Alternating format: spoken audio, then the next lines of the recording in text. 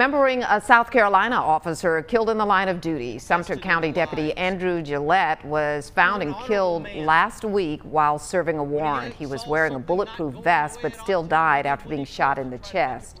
Police from across the state remembered him as an honorable man with a servant's heart. Deputy Gillette leaves behind a wife and an 11 year old son.